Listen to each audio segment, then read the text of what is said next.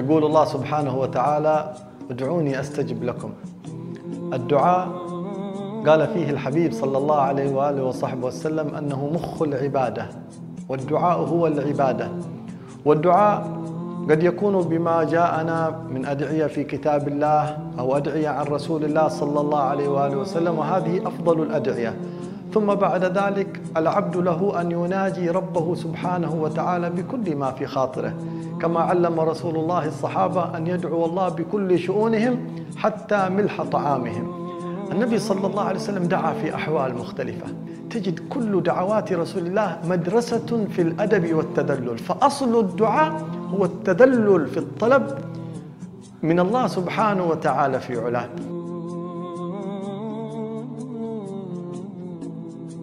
هذا الدعاء له آداب. منها الاستعداد بطيب المطعم والمشرب لأن النبي صلى الله عليه وسلم أخبر أن الرجل يدعو وملبسه حرام ومأكله حرام فأنا يستجاب له. الأدب الثاني أن ندعو الله سبحانه وتعالى بصوت خافت بين الجهر والمخافته.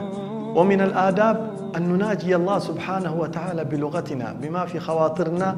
لا نتكلف السجع لأن النبي صلى الله عليه وسلم قال يأتي أناس يعتدون في الدعاء يجعلون الدعاء فيه تكلف وفيه سجع وفيه ما لا ينبغي لأننا نعامل من ينظر إلى قلوبنا سبحانه وتعالى في علاه. ومن الآداب استقبال القبلة إن تمكن الإنسان. كذلك أن نرفع أيدينا كما كان صلى الله عليه وسلم يرفع يده فربما رفع يده حتى يظهر بياض إبطه يعني يرفع يده رفع شديد. يسن أن يبتدئ بالحمد والصلاة على النبي صلى الله عليه وسلم فإن هذا أدعى للإجابة وكذلك يختتم. النبي صلى الله عليه وسلم وقف يوما وجد صحابيا يدعو الله سبحانه وتعالى في المسجد فقال صلى الله عليه وسلم أوجب إن ختم. فقالوا وما ختم يا رسول الله؟ قال إذا ختم بالحمد لله. وكذلك تحري ساعات الإجابة والأماكن المباركة.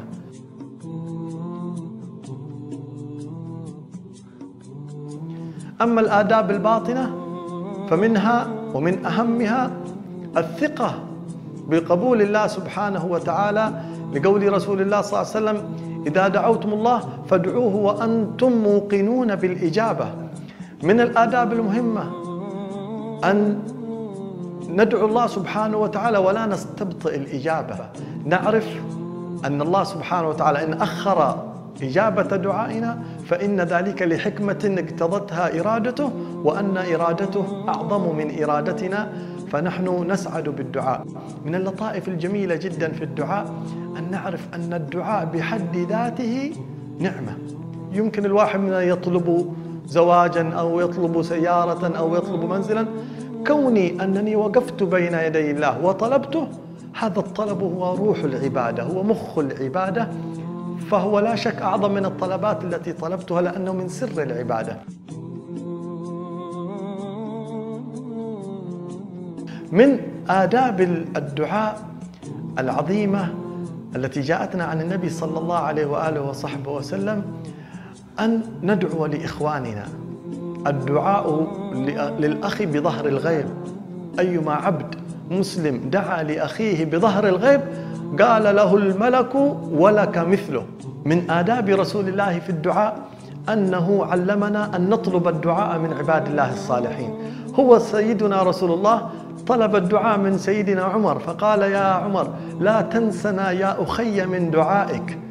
قال سيدنا عمر فما لي فما أحب أن يكون لي بها كذا وكذا من الدنيا.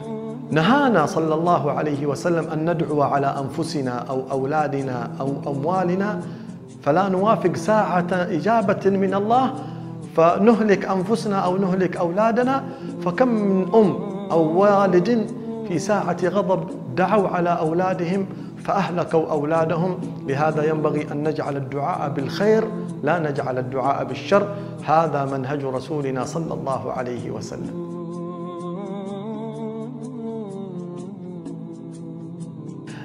وقفة مع أحد دعوات رسول الله صلى الله عليه وآله وصحبه وسلم. لنتعلم منها دروسا. النبي صلى الله عليه وسلم لما صعد للطائف يدعوهم إلى الإسلام رموه بالأحجار وسال منه الدم وخرج مكسور الخاطر مجروح ورفع يده إلى الله. اللهم إني أشكو إليك ضعف قوتي وقلة حيلتي وهواني على الناس.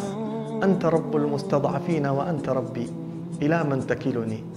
إلى بعيد يتجهمني أو إلى عدو ملكته أمري. إن لم يكن بك علي غضب فلا أبالي ولكن عافيتك هي أوسع لي. أعوذ بنور وجهك الذي أشرقت به الظلمات وصلح عليه أمر الدنيا والآخرة. أن ينزل بي سخطك أو يحل علي غضبك لك العقبى حتى ترضى ولا حول ولا قوة إلا بالله العلي العظيم.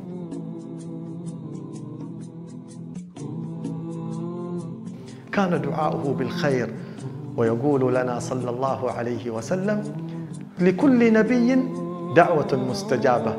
وقد دعا كل نبي على أمته وإني قد خبأت دعوتي شفاعة لأمتي يوم القيامة. هذه الدعوة الكبيرة التي نرجوها. فمن كان متابعا للحبيب مهتديا بهديه قريبا من سنته فهو سينال نصيبا وافرا إن شاء الله من دعوة الشفاعة يوم القيامة.